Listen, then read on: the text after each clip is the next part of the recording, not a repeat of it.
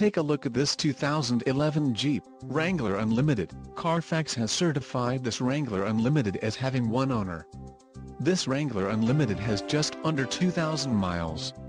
For your protection, this vehicle has a factory warranty.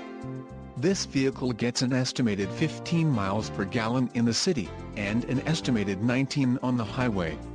This Wrangler Unlimited boasts a 3.8-liter engine and has a 4-speed automatic transmission.